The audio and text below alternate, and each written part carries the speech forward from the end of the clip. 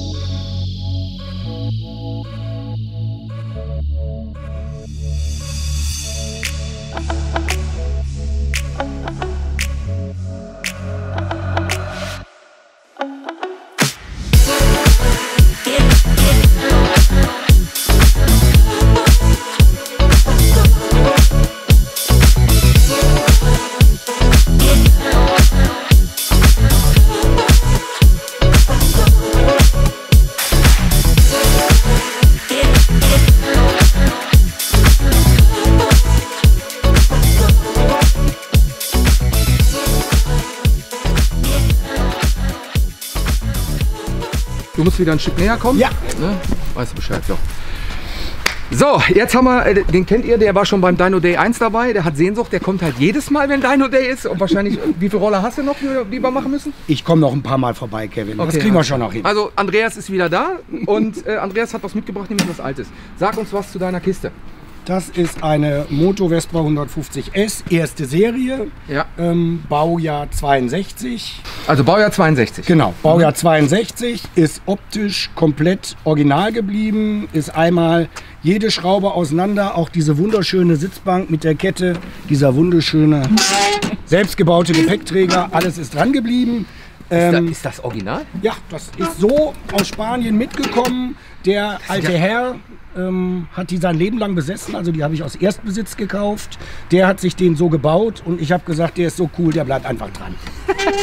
ja? Das ist geil. Gemacht hat den Roller komplett, da mache ich jetzt mal Werbung für jemand anders. Vielleicht mal einen Tipp, wo du auch mal hinfahren kannst. Äh, Ich baue meine Roller eine- selber. Ja, nein, nein, nein. Du machst ja sehr schöne Videos, wo du jemand anders vorstellst. Ja. Ist der Blechraum in äh, Düsseldorf. Der Marc Schaffnit, ich glaube, ihr kennt euch auch vom Sehen. Ähm, Stimmt. So, und ähm, der hat das Konzept eben gemacht. Ja. Und ähm, 12 Volt, PX200 Motor. Genau. Mit, PX200 Motor? Genau, PX200 beziehungsweise ein spanischer 200er Motor. Also ein PX DS. DS, genau. Ähm, Malossi Sportzylinder, Welle? eine 57er, also ist 210, eine Matsu-Welle. Okay. Ähm, du weißt, Matsu-Wellen. ja, ich weiß.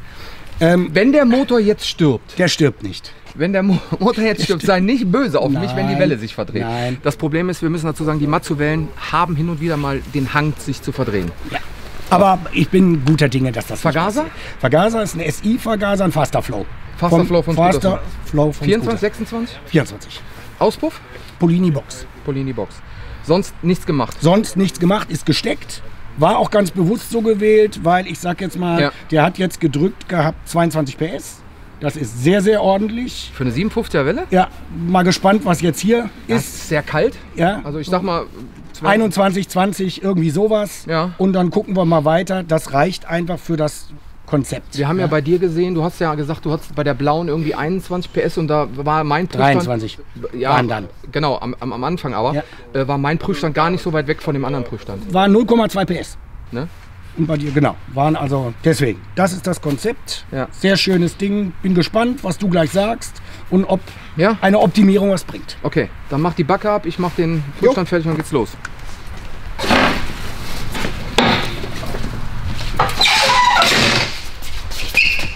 Passt so. Ja, das ist ja schon mal wieder, ne? Der sprichwörtliche. ich doch. Eieiei, guck mal.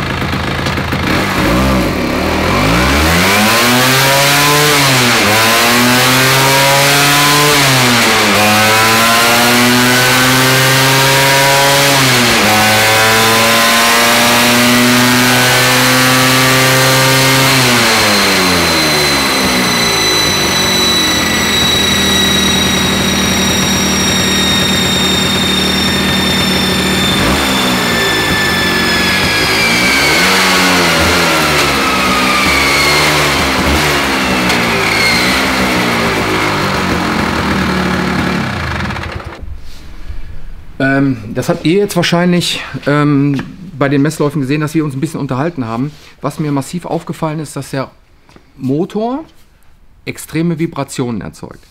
Jetzt gibt es mehrere Möglichkeiten, wo diese Vibrationen herkommen können. Zum ersten kann es sein, dass die Kurbelwelle sich verdreht hat. Diese Vibration wird als Unwucht wahrgenommen und als Unwucht dann in die Lager übertragen, das heißt in das rechte und das linke Kurbelwellenlager.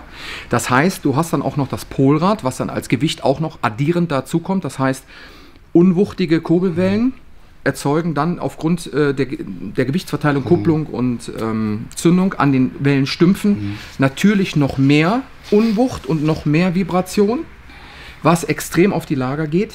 Das heißt, die Lager werden dir schneller verschleißen. Mhm. Weil du natürlich immer extrem Druck in den Kugeln hast. Das heißt, die Kugeln werden in den äußeren Lagerkorb einlaufen. So, irgendwann wirst du Rastpunkte kriegen und wenn du es dann überhaupt nicht reparierst, werden die Kugeln irgendwann aus dem Korb ausbrechen und dann hast du richtig Maleste. Aber das braucht halt ein bisschen was. Ne? Der, das Lagerspiel wird immer größer. Mhm. Wenn du das merkst du dann, wenn du zum Beispiel die Motorhälfte auseinander nimmst, das Lüfterrad abnimmst und dann die Kurbelwelle mal anfasst, während mhm. sie noch im großen Lager sitzt und die Kupplung von hinten drauf geschraubt ist, mhm. dann hast du ja die Kurbelwelle mit der Schraube und der mhm. Kupplung press an den Lagersitz angesetzt. Mhm. Beziehungsweise an den Lagerring, an den inneren, nicht an den Lagersitz, sondern an den Lagerring. Mhm. Das heißt, du hast eine feste Verbindung zum Lagerring. Und wenn du dann an der Kurbelwelle wackelst und die macht solche Ausschläge, dann ist das Lager fertig und zwar mhm. richtig fertig. Okay. Du hast immer ein bisschen Lagerluft. Ne? Mhm. Meistens benutzen wir C3-Lager, also C3 beschreibt mhm. die Lagerluft, die du vom inneren Ring zu den Kugeln hast. Ähm, du musst also ein bisschen Spiel haben, anders geht es ja nicht. Aber das darf halt nicht wirklich wie so ein Lämmerschwanz wackeln. Mhm. Ähm, der nächste Grund, der sein könnte, wären die Silentblöcke unten in den mhm. Rahmengummis, dass die verschlissen sind, ne? Mhm. dass die keine dämpfende Wirkung mehr haben und jede Vibration mit übertragen in den Rahmen. Ich weiß nicht, ob die gemacht wurden. Wenn die nicht gemacht wurden, dann wäre schlecht, ja. Ich glaube aber eigentlich schon. Viele schenken mhm. diesem Thema kaum Aufmerksamkeit. Mhm. Das ist wirklich so. Ich gebe euch auch den guten Rat: ähm, Schenkt den Silentblöcken immer besondere Aufmerksamkeit. Die kosten nein, nein, 20 Euro. Genau. Schmeißt die Scheiße raus. Bei einem 150er Block sind sie sehr aufwendig zu wechseln. Mhm.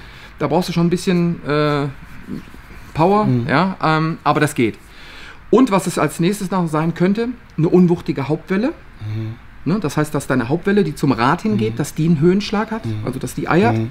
So, dann hast du natürlich auch im hinteren Lager, im unteren ja, Lager ähm, extremen Verschleiß und Felge und Trommel. Könnte es natürlich auch sein. Also ich hatte jetzt den Eindruck, ich habe jetzt eben noch mal ein Video gemacht ja. bei einem Lauf und habe gesehen, also die, wenn das Hinterrad ausläuft, das läuft sehr unwuchtig. Also ich glaube eher, dass das, oder ich hoffe eher, dass das daher. Es kann auch die Trommel sein, ne? oder genau. eine Kombination genau. aus beiden. Ja. Das heißt, Vorschlag 1 wäre, mach mal eine andere Felge drauf. Ja, definitiv. Ähm, ja. Probier das damit aus. Ähm, vielleicht hat auch der Reifen eine Macke, eine Karkasse irgendwie kaputt ist. Ähm, wenn das nicht funktioniert, dann würde ich die Trommel, ich würde es also von hinten nach vorne machen. So. Mhm. Wenn du dann den Motor auseinanderbaust, dann musst du halt mal gucken. Ähm, Woran du es auch immer, das können, können, wir gleich mal zeigen, woran du es merken kannst, dass die Lager verschlissen sind. Ja. Komm mal mit, ich zeige euch das mal. Ihr geht zum Lüfterrad hin und normalerweise, wenn das Lager einen recht festen Sitz hat, dann kannst du das Lüfterrad nicht kippeln. Ja. Du nimmst die Daumen und drückst hier. Ja.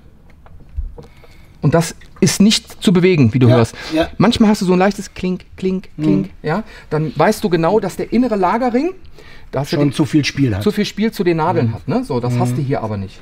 Mhm. Nein. Nein. Ah, Moment, hörst du? Das was, ja. Kommt mal näher.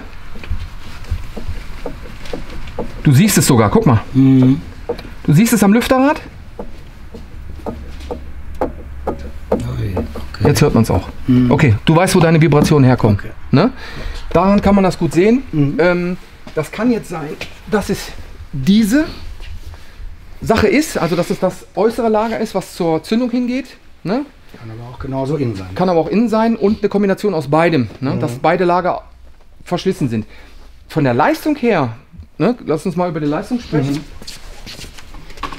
Du hattest 22 PS auf dem anderen Prüfstand, ne? Ja, wobei das ein selbstgebauter Prüfstand war. Nein, nein, du, das, ne? das lass mal mal, das, lass mal mal, das mal gar nicht in Abrede, ja. sondern ich gehe eigentlich andersrum an die Sache ran. Mhm. Wenn Kurbelwellen sich beginnen zu verdrehen, mhm. ändern sich die Einlasszeiten. Klar. Hat so. ja weniger Leistung. Und wenn du weniger Einlasszeit mhm. hast, oder beziehungsweise die Einlasszeit zu einem falschen Zeitpunkt zur Verfügung steht und zu einem richtigen Zeitpunkt zu ist, mhm. dann kommt halt kein Sprit mehr rein. Mhm. So, das merkst du, ich habe das zum Beispiel bei, ähm, bei Motoren gehabt auf dem Prüfstand, wo sich die Kurbelwellen verdreht haben. Die hatten 27 PS und fielen dann runter auf 14, 15 PS. Aus dem Nichts. Zack, bumm. Und da weißt du genau, die Kurbelwelle hat sich so verdreht, dass die Anlasszeiten schon nicht mehr stimmen. Ja? So, jetzt hast du auch immer wiederkehrend das gleiche Drehmoment und die Leistung ist auch identisch. So, das bedeutet, ähm, wir haben dem Motor jetzt nicht mehr Schaden zugefügt. Das heißt, wir haben jetzt auch nicht mehr Dreh, Drehung in, oder Verdrehung in der Kurbelwelle erzeugt, sondern er hat jetzt vermutlich 3 PS weniger. Was aber auch sein kann, dass ähm, bei kälteren Bedingungen, ähm, und mein Prüfstand ist sowieso etwas konservativer von der Leistung, äh, bei kälteren Bedingungen wird die PS-Zahl immer weniger angezeigt. Das heißt, würden wir deinen Roller jetzt unter Umständen bei 22 Grad messen mit mehr Luftdruck und mit einer höheren Luftfeuchte, würde das Programm die PS-Leistung anders bewerten. Wir haben jetzt trockene Luft, relativ trockene Luft. Das hat jetzt zwei Tage nicht geregnet. Wir haben es. Wie viel Grad haben wir denn? 6, 7 Grad. Wir Also wir haben ja auf dem Prüfstand 12,9 Grad. Ja, okay. Also das ist für, für zum Abstimmen eigentlich optimal. Ähm, ja, ich würde tatsächlich äh, jetzt schon Kurbelwelle ins Auge fassen und die Lager vermuten. Ja, aber Potenzial haben wir da noch. Ne? Also Ja, da, ja, kriegen wir, da kriegen wir auf jeden Fall noch was raus. Ähm, kannst du dir überlegen, ob wir das machen sollen? Ähm, also die Welle ist jetzt noch so stabil, das funktioniert. Mhm. Ähm, wenn es jetzt auch nur die Lager sind, dann sind es auch nur die Lager. Es kann sein, dass die Welle völlig in Ordnung ist. Nur wenn die Welle nicht sauber geführt wird, dann hast du halt diese klar. Und der Extremvibration. Motor ist aber auch noch nicht viel gelaufen. Das muss man jetzt auch bedenken. Ne? Pass Weil auf. Das ist ja neu gemacht und je mehr ich dann jetzt fahre, kann Wird das ja schlimmer. schlimmer werden. So. Aber das ist halt, du hast eine 57er Welle, du hast einen relativ kurzen Hub und Mhm. du hast ähm, halt viel Leistung anstehen. So, und das belastet halt die Lager. Wenn du jetzt zum Beispiel nur ein 8-Kugellager hast und kein, also 8 Kugeln in Mhm. einem Lager, es gibt die verstärkten Lager, die haben 9 Kugeln. Ähm, da gibt es auch nochmal Unterschiede. SKF, INA sind eigentlich relativ qualitätsmä qualitätsmäßig ähm, auf, auf demselben Level. Aber wenn du zum Beispiel mal so ein indisches Lager erwischt oder ein Lager, was nicht so hundertprozentig sein sollte, wie es eigentlich sein sollte, dann begünstigt das, das natürlich. Aber man weiß, ich weiß halt auch nicht, was für Lager verbaut sind. Ähm, also ich verbaue immer SKF-Lager, weil die wirklich höchste Qualitätsansprüche erfüllen. Aber auch die halten nicht immer. Ja, ne? na klar. Und wir müssen halt, das ist auch für euch wichtig, ihr müsst verstehen, ähm, man kann es grundsätzlich so beschreiben. Wenn du Leistungssteiger, Leistungssteigerung hast in diesem Motor, der hat original 6 PS. Ja, oder 8 PS am Rad, einen 200er. Jetzt hast du hier 19 PS. Das heißt, du hast die Leistung verzweieinhalbfacht. Ja, genau. So. Das heißt, mit dem Originalmotor fährst du 30.000 Kilometer. Mit einem Tuningmotor, mit der, mit, mit den, im Grunde mit demselben Motor, nur 10.000, hast aber den Verschleißgrad von einem 30.000 Ja, genau. erreicht. Also das muss man Das sich muss, immer, muss immer, das ist logisch. genau, das muss man sich vergegenwärtigen. Also das, der Verschleiß steigt exponentiell zu dem, zu dem, zu dem Leistungsanstieg natürlich mit dazu. Mhm. Das heißt, ich weiß nicht, wie viele Kilometer du runter hast. 500. 500. Ja. Wirklich noch nicht viel. Ja. Ja. Du hast das Kling-Kling jetzt gehört. Mhm. Ne? Das deutet darauf hin, dass da was im Argen sein könnte. Könnte. Der Winter ist noch ein bisschen lang. Den mal aufmachen und die Lager mal zu kontrollieren. Und das reicht schon, wenn du die kleine Hälfte abnimmst. Du kannst den Motor drin lassen. Nimm die kleine Zylinder ab, äh, ähm, die Zündung ab, Okay. nimm die ab, nimm den Kurbelwellenstumpf in die Hand. Und wenn du diesen machen kannst, Okay. 100 Punkte. Ausbauen, tauschen. Okay. Es kann aber auch sein, dass der Lagersitz kaputt ist. Das kommt auch noch dazu. Also du musst immer weiterdenken. Wenn du das Lager einsetzt und das Lager kann sich um die eigene Achse drehen in Mhm. dem Lagersitz, dann ist der Lagersitz verschlissen. Dann kann das Lager auch kippeln in dem Lagersitz. Ist aber kein Problem. Ausspinnen, Mhm. Ja. Mhm. Messingbuchse rein, fertig.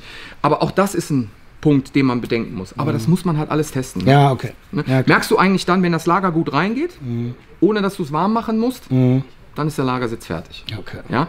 Und was du immer beachten musst, oder für euch gilt das auch, wenn ihr die Lager von der Kurbelwelle einsetzt und ihr setzt den Sägering ein, Mhm. immer das Spiel zwischen Sägering und Lager messen. Mhm. Und wenn, wenn die Distanz größer 0,1 ist, immer mit, ähm, es gibt sogenannte Hassbergscheiben, Mhm. die kann man unterfüttern und das axiale Lagerspiel rausnehmen. Weil wenn du kuppelst, kann es durchaus sein, dass das Lager sich in dem Lagersitz bewegt. Okay. Und das mit der Leistung, ne, Ja, klar, das, das muss man immer im Kopf behalten. Da sind ja schon 20 PS. Da bist du schon woanders und das Genau. ist dann schon klar. Okay. Also ansonsten macht der Motor eigentlich von der Leistung her einen guten Eindruck. Ja. Wir haben jetzt knapp 20 PS. Ja. Ähm, würde mich natürlich reizen, da was dran zu machen, weil ich glaube, da ist noch echt Potenzial nach oben. Also ähm, Mhm. wenn wir den jetzt fertig machen würden mit der Welle, ähm, denke ich schon, dass wir da oh, so 2 PS werden wir bestimmt noch finden. Also äh, lass dir durch den Kopf gehen. Mhm. genau, gerne die was Kollegen sind ja noch dran. Genau. Noch ein bisschen da. Gut, alles klar. Dann drucke ich dir das jetzt aus. Ja. Schön, dass du da warst. Ja, ja. Ja, die Temperaturen sind. Das hättest du deinem Thermometer ist mal sagen sollen. So, äh, wir sind am nächsten Roller. Das ist der Erik und wir haben eine sehr schön patinierte, Richtig. man könnte auch sagen hässliche PX. Das ist ja Ansichtssache. Nein, Quatsch, ich mache nur Spaß. Ähm, aber die ist, äh, die ist, das ist halt eine runtergeranzte, äh, patinierte PX. Genau. Die stand 20 Jahre lang in der feuchten Garage und so sieht es dann aus. Ja. Hast du das mit Ovatrol behandelt? Ja. Komplett einmal versiegelt. Mhm, innen, außen. Ja, alles gut. Also, das hat ja seinen Charme. Eben. Ne, Ich habe ja, ich hab ja ähm, der rote Roller von mir, Herr Schröder, sieht ja genauso aus. Also, ähm, Ich will ja auch keine lackieren, die Dinger. Ne? Ist ja, also Nee, das Thema habe ich gerade gehabt. Äh, die will wirklich keiner lackieren, weil du kannst mit der Maschine nichts machen, du musst alles von Hand schleifen. Ja. Und dann kostet so eine Lackierung halt mal zwei Mille. Ich Gott sei Dank, das ist ein Auto günstiger. Ja, ja, ähnlich, ne? So, dann sag mal was, äh, was haben wir denn hier? Eine PX80, ne? BX80 Lusso, ein 90er. Ähm, also vom Gehäuse her. Ne? Der Motor ist ein 125er, 150er. Ja. Mit einem VMC Super G 177 mit 60er. Das ist der Guss, ne? Ja. Oh, da bin ich mal gespannt. Das ist der erste, den ich jetzt auf dem Prüfstand habe. Und ähm, mit einer 60er Hub, ne, Mhm. also dann 187 oder so Genau. dann. Vergaser? Äh, Vergaser habe ich einen ein 26 SI drin. Ein Fasterflow? Oder äh, einfach ein 26 Standard? Spacko Standard. Mhm. Ja. Und äh, Bedüsung? Hast du Bedüsung im Kopf? ja, man steht so aufgeschrieben hier. Ich mag es, wenn Leute vorbereitet sind. Äh, ob ich- 140er Hauptdüse BE3, 140 52 in der Nebendüse. Zündung 19 Grad. Mhm. Spacer, 1 mm Fuß und Kopf. Ja. Steuerzeiten hast du? Weißt du nicht, ne? Ja, weiß ich nicht. Das ist äh, die. Das herauszufinden, das war ein bisschen schwierig und ganz gepasst haben sie dann Ähm, auch 23, 64 Grad verzahnt, das heißt, du hast äh, das 80er Getriebe oder das 125er nicht. Getriebe? 125er Getriebe ist da drin. Mhm. Kosa-Kupplung. Kosa-Kupplung 2, ist die verstärkt? Ja.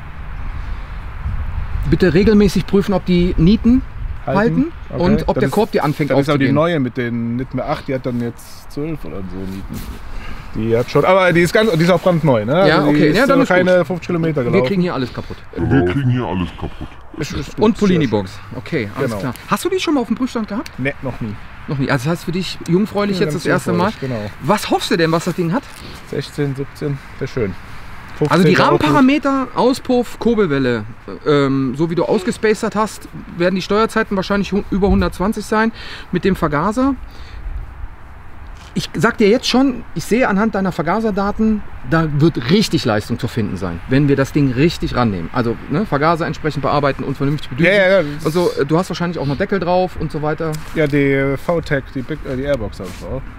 Äh, von Westpac. Äh, Westpac, genau. Westpac, ja, okay. Äh, Das ist schon Venturi eine- von Polini. Das ist schon, na, der Venturi Polini ist nicht so gut wegen dem, wegen dem Wegen Loch. zwei Löchern, Genau. ja. Ja. Aber da werden wir auf jeden Fall Leistung finden können, wenn du möchtest, dass wir da Leistung finden. Aber wir gucken uns den jetzt erstmal an, wie er läuft. Genau. Ähm, bist du zufrieden? Wie fährt er?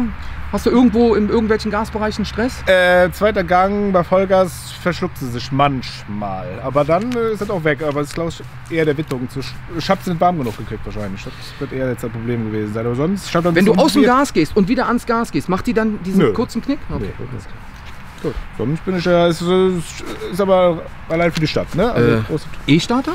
nicht mehr verbaut. Ich wollte gerade sagen, äh, sind ja hier Männer und keine Mädchen. Nee, nee, nee, so, nee. okay, alles klar. Stellen wir auf den Prüfstand, legen wir los. Ja. Die Kamera. Jetzt weiß ich, wo das Problem ist. Der Reifen? Kupplungsdeckel, Reifen. Das heißt, zwei Möglichkeiten. Ja, Entweder- der Reifen ist aber auch ein alter, ne? Ich habe extra den neuen drauf wie, viel, wie viel Bar hast du da drin?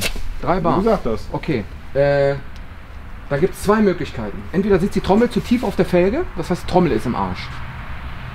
Dann hast du das äh, Thema, dass die Reifen flanken, dass die Karkasse zu breit ist eigentlich. Ne? Wenn du dann mehr Luft reinmachst, wird die Karkasse immer breiter. Dann geht der nicht in die Höhe, dann wird der immer breiter, der Reifen. Okay. Und dann schleift er am Kupplungsdeckel. So. Oder die Felge eiert.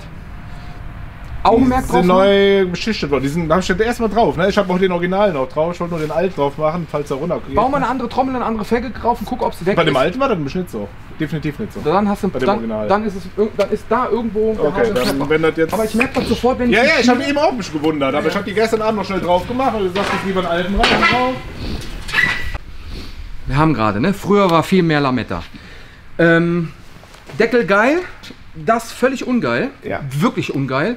Äh, ich habe es in einem der letzten Video gesagt und wurde dafür von meiner Frau abends zurechtgewiesen. Das heißt, ich darf das mit dem Kabelbinder und dem Gesch darf ich nicht mehr sagen.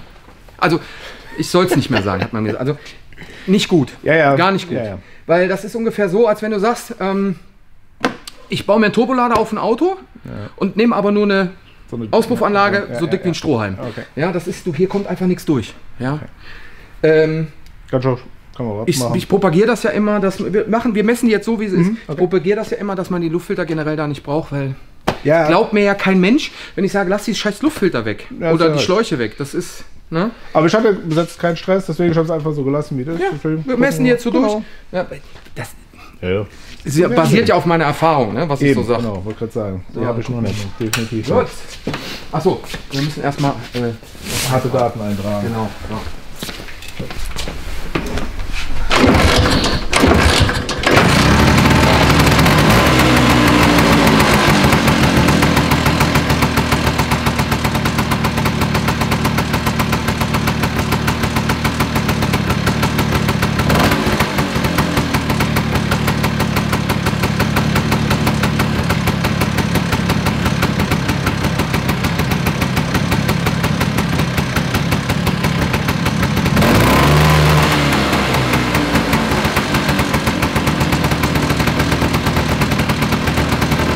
Wir kriegen hier alles kaputt.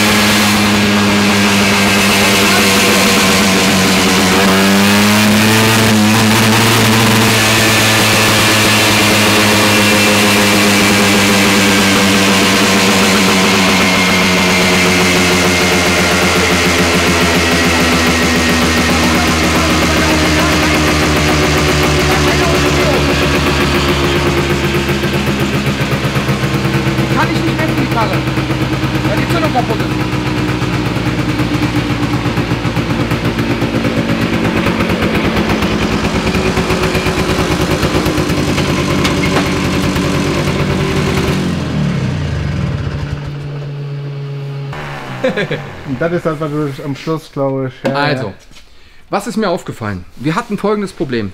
Bei einer originalen Zündung hast du bei einer Umdrehung einen Zündfunken. Bei 360 Grad kommt ein Zündfunke an. Jetzt habe ich deine Kiste angeschmissen. Die, das Setting war auf ein. Ähm, ich versuche das jetzt nochmal einzublenden, parallel, wenn ich das sage. Auf einen Zündfunken für eine Umdrehung. Ne, Das kann man hier gut sehen. Ja. ja. Zündfunke 1, eine Umdrehung. So. Jetzt warst du schon aber im Standgas bei 8000 Umdrehungen. Völlig unüblich. Ja.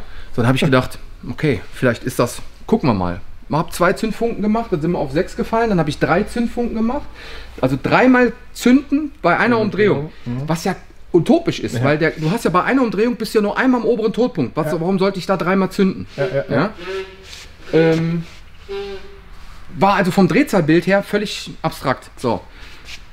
Ähm, bei steigender Drehzahl, ich könnte auch sein, dass die CDI kaputt ist. Das heißt, wir können jetzt folgendes machen: Wir können mal den Roller, der Roller jetzt mit der CDI wird mittlerweile ein Running Gag hier. äh, wir nehmen den Roller mal runter. Wenn du Bock hast, kannst du dir eine CDI äh, mal dranhängen Ja, und wir probieren das nochmal. ja. Dann wissen wir, ob CDI oder Zündgrundplatte. Und in der Zwischenzeit machen wir den anderen Roller. Äh, wenn du nicht willst, dann Ne, ne, machen wir. Ja? Okay, das ist auch relativ zügig gemacht. Warum kannst du den Roller jetzt nicht messen? Erklär es mir nochmal. Den Roller kann ich deshalb nicht messen, weil die Zündeinstellungen wichtig sind zur Berechnung der Getriebeübersetzung. Hier, ja? So, das heißt, er nimmt das Geschwindigkeitssignal von dem Impulsgeber, der nimmt den Zündfunken und errechnet sich anhand der Umdrehungsgeschwindigkeit der Rolle die Getriebeübersetzung und weiß, bei der Drehzahl bin ich genau so schnell und wenn ich dann beschleunige, berechnet er aufgrund dieser Basisdaten dann die PS-Leistung. Und wenn du keinen Zündfunken hast, kannst du die Getriebeübersetzung nicht berechnen. Kein, kein sauberes Zündzignal. So, und dann würde der irgendwas anzeigen und dann funktioniert das nicht. Das heißt, wir bauen jetzt ab, machen die CDIs genau das gleiche Problem, was wir beim, beim Letztes Mal hatten. wie hieß er nochmal der Kollege? Erhan. Wie wir es beim Erhan hatten. Ja. Ähm, wir ändern das jetzt mal und dann gucken wir mal, ob wir es kurzfristig ans Laufen kriegen. Und dann schauen wir. Neue Grundplatte. Ah, die ist brandneu gewesen, krass. Ja, das kann Aber halt beim sein, dass die, die auch, beim Erhan war es auch ganz neu. Genau, es Ja. kann, es kann halt sein, dass die CDI ist, ne? Die CD ist nicht neu, definitiv nicht, aber gut. Mhm, Wir gucken. Na, wir gucken wir, wir wechseln. ja. Perfekt. Okay. Ah, rotes Licht. So, jetzt äh, sind wir beim nächsten Roller. Es wird wie immer an dem anderen Roller geschraubt. Ne? Jetzt stehen wir hier an einem leichten Nieselregen. Erzähl mir was zu deinem Roller. Ja, wir haben hier eine Moto Vespa GT 160. Habe ich komplett entlackt, neu lackiert, ein paar Teile geändert. Was für ein Farbton ist das?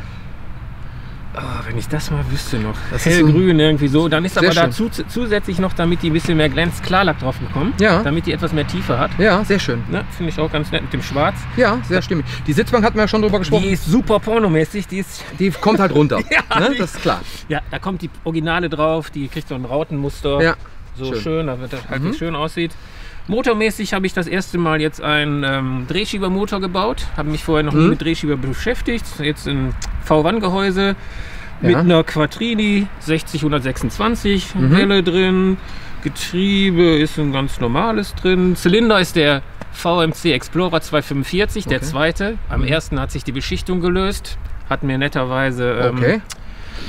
VMC einen neuen geschickt. Den Okay. zweiten Zylinder werdet ihr gleich selber hören. Hört sich ganz, ganz schlimm an, meiner Meinung nach. Habe auch schon mit VMC geschrieben, aber sie sind der Meinung, es würde nicht am Zylinder liegen, sondern am Am Motor. Wie ist immer. Oder am, an dem, der ihn gebaut hat, natürlich.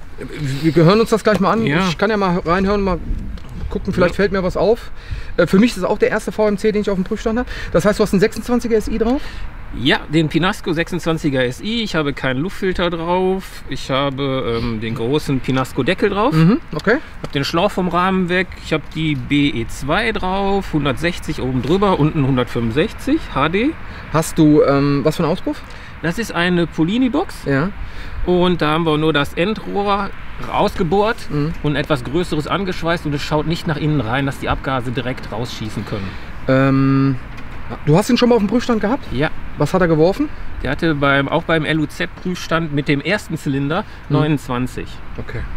Dann gucken wir mal, wo wir hier liegen und schauen mal, äh, was geht. Ja? Gerne. Gut, dann einmal rein damit.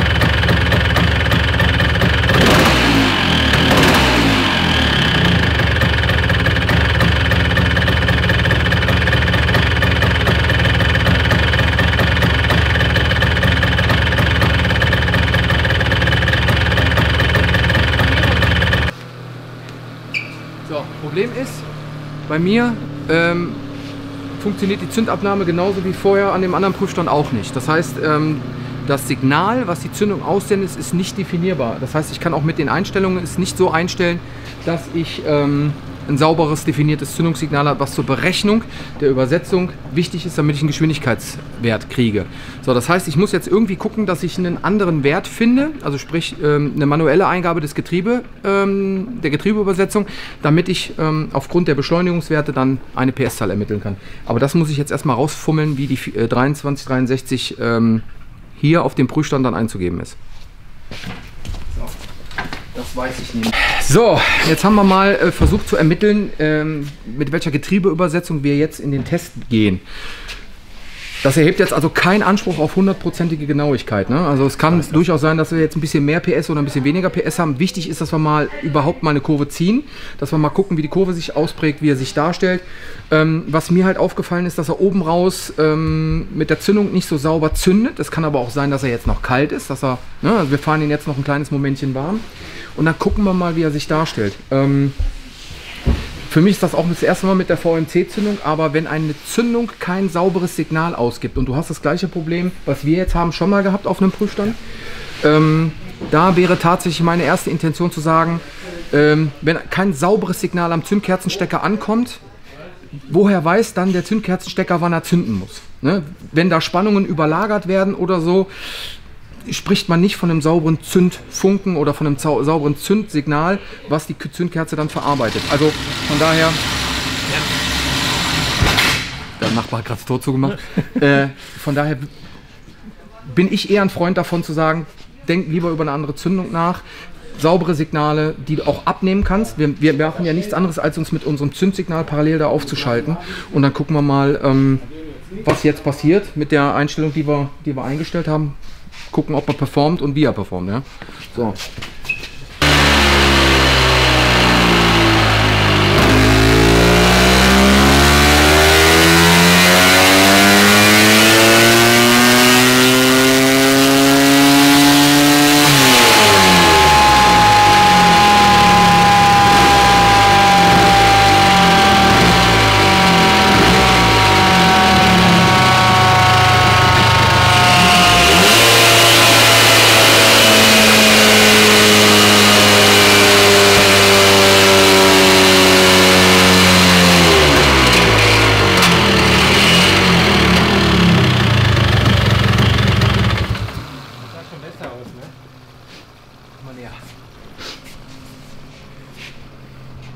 So, jetzt haben wir mal rausgetüftelt.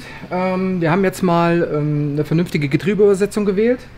Wir haben, ähm, im Grunde muss ich mein System überlisten, weil mein System kein Zündsignal kriegt, um das zu ermitteln. Das heißt, wir haben jetzt die Getriebeübersetzung eingegeben und wir gaukeln dem ähm, Prüfstand jetzt im Grunde vor, dass wir mit der Zündung zusammen das Geschwindigkeitssignal ermittelt haben, auf dessen Basis wir jetzt arbeiten. Jetzt haben wir wir haben ja die Getriebeübersetzung mit 23 zu 63 und haben damit jetzt einen Wert festgelegt, mit dem wir jetzt arbeiten. Wir haben jetzt ein bisschen getestet und jetzt sind wir da, wo wir sagen können, jetzt können wir mal ähm, einen Schuss machen und können mal gucken, wo wir stehen. Jetzt passen auch die Werte so einigermaßen zusammen. So, das heißt, ähm, auf der Basis, was ich jetzt habe, werden wir jetzt mal einen Lauf machen. Ich denke auch, das passt. Und jetzt denke ich auch, dass wir da einigermaßen hinkommen. Dass wir jetzt mal eine Grundlage haben, äh, was wir ermitteln können. Das heißt, ich kann den jetzt nur im dritten Gang messen. Und wir können dann mal ähm, erste, zweite, dritte, vierte Gang machen. Das können wir machen und können wir mal gucken, wie er performt. Jetzt äh, hat er auch Temperatur, jetzt läuft er auch sauberer oben raus, ähm, hat auch keinen Abbruch mehr. Das könnte auch von der Drehzahl her, also das sieht alles sehr, sehr stimmig aus. Ja. Wenn das jetzt ähm, von der Getriebeübersetzung noch 0, was weiß ich, 3, 4 Punkte oder äh, 10, 20 Prozent abweicht, ich habe keine Ahnung. Aber wir sind auf jeden Fall mal in dem Bereich, wo es plausibel ist, mit der Übersetzung, mit dem Zylinder, mit dem Auspuff und mit dem Vergaser. Also das ist ein Leistungsbild, was wir jetzt so ermitteln könnten, äh, was plausibel klingt. Aber das ist äh, auch für mich interessant herauszufinden, äh, ne? Keine Feier ohne Meier, immer mal wieder eine neue Challenge. Aber ne, das ist ja dann auch, liegt ja dann auch an mir so, ich will ja dann auch äh, wissen, wie es funktioniert. Also das heißt, wir werden jetzt mal einen richtigen Lauf machen und mal gucken, äh, dritte Gang, wir machen zweimal dritte Gang und gucken, ob der ähm, parallel bleibt mit der Leistung oder ob die Leistung steigt oder ob sie abfällt. Dann können wir so ein bisschen eine Aussage über die Bedüsung.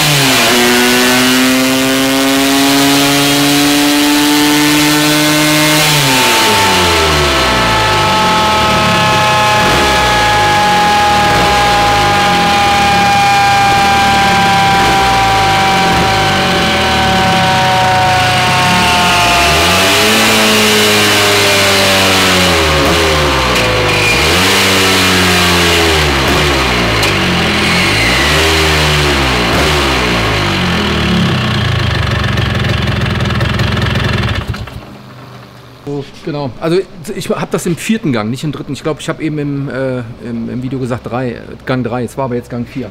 So, jetzt passt das auch zusammen. Jetzt gucken wir uns das mal eben an. So, machen wir mal weg.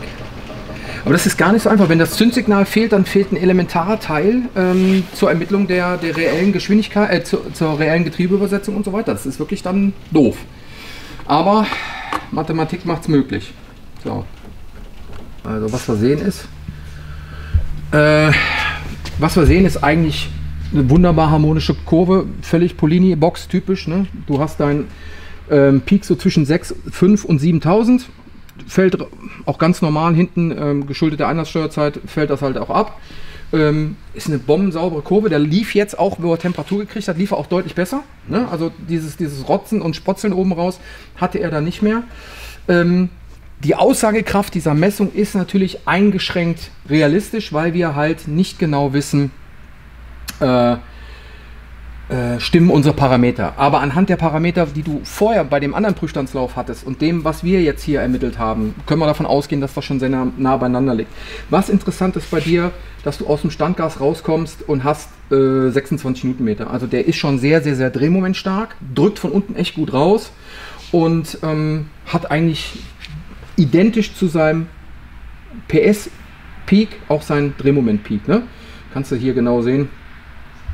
Ähm, Leistung liegt bei 6,6 an und sein Drehmoment bei 6,1. Ne? Also sein Top-Drehmoment. Also alles, was über 6000 ist, brauchst du nicht zu bespielen, macht keinen Spaß, bringt dir auch nichts. Ähm, Der Motor lebt vom Standgas aus bis zu 6000, hat ja komplett seine lineare Leistungsentfaltung. Also ist, ähm, ist im Grunde tatsächlich Quattrini sehr ähnlich.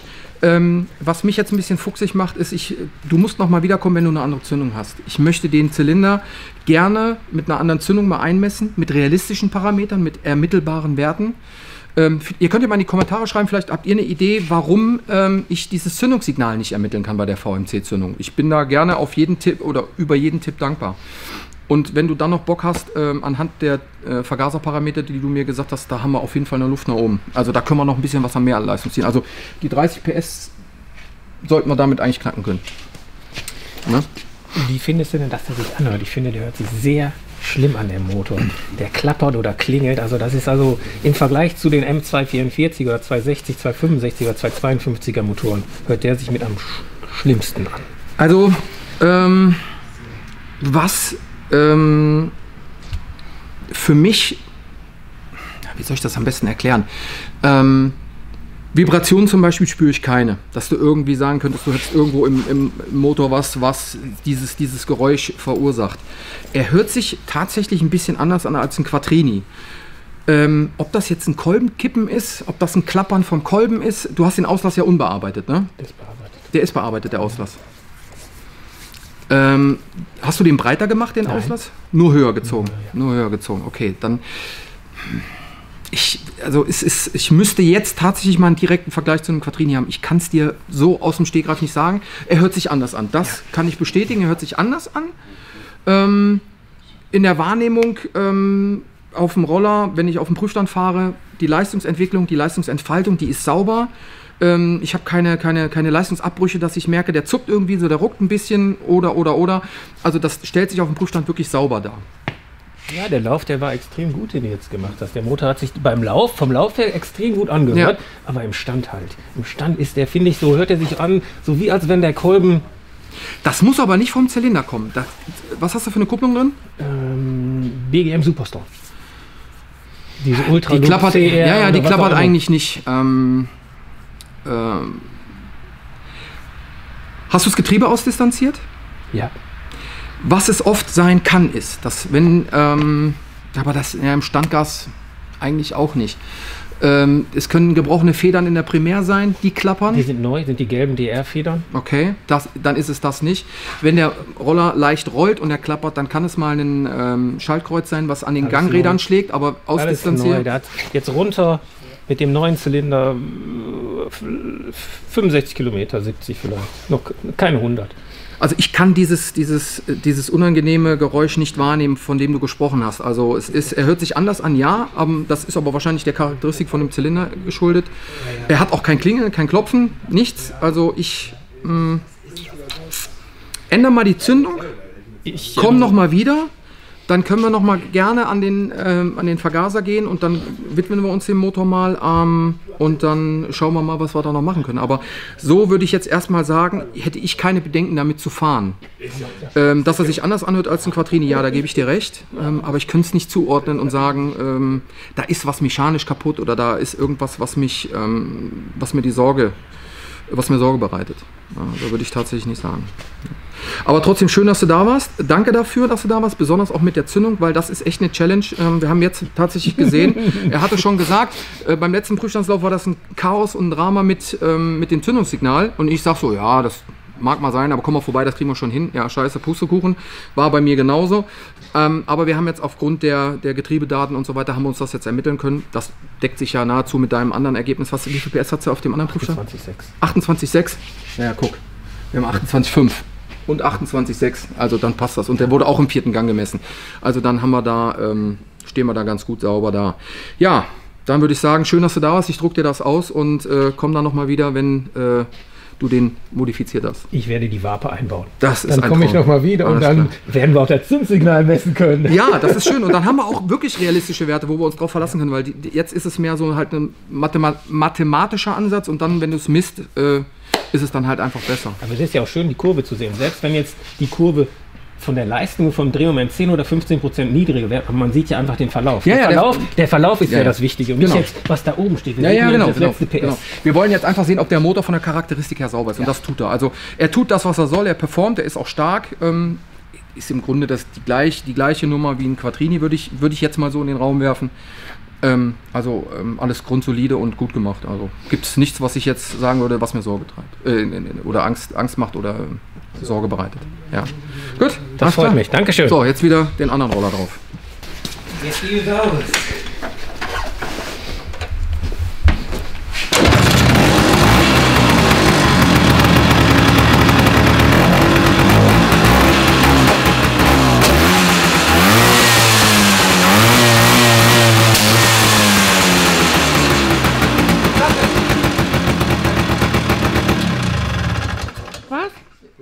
Fehlzündungen und alles. Ja, ja, das ist die Platte. Also CDI, ist- die CDI funktioniert, das wissen wir vom letzten Mal noch.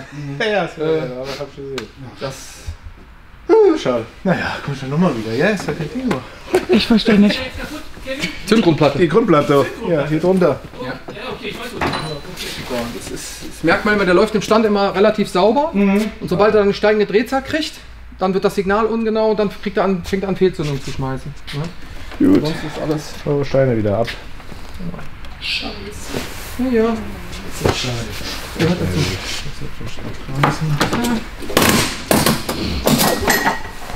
Aber dann hab ich schon einen zweiten Gang gehabt, deswegen. Es kann, kann auch sein, dass das Lüfterrad kaputt ist. Ne? Lüfterräder entmagnetisieren sich auch gerne mal. Das kann auch sein. Okay. Ja, auch da mein Tipp, investiere in die Wape. Mehr Lichtleistung und so weiter und so fort. Ja, klar, natürlich. Gut, ich baue sie gerade das Ding wieder ab. Schade, aber So, und dritte Roller ist auch schnell vom äh, abgeschmeckt worden. Ja, so, das ist manchmal so. Ihr seht, äh, ich hätte es gerne anders gemacht, aber leider, äh, ja, die CDI-Schnellreparatur hat diesmal nicht geholfen. Dieses Mal ist es entweder das Lüfterrad oder die Zündung selber. Ja, äh, das war's. So, ihr habt alle Roller gesehen. Ihr habt jetzt gesehen, wie es aussieht. Ich hoffe, euch hat das Video gefallen. Wenn euch das Video gefallen hat, Daumen nach oben. Abo, den ein oder anderen wohlwollenden Kommentar und äh, dann würde ich sagen, wir sehen uns in Kürze wieder. Ich habe da noch äh, nächste Woche einen netten Gast und dann kommt dann äh, im Januar, glaube ich, noch zwei Videos, ähm, wenn das alles so passt, wie ich mir das vorstelle. Und äh, ja, dann würde ich sagen, bleibt hässlich, wenn er rausgeht, fallt nicht in den Schnee und äh, bis zum nächsten Mal. Tschüss.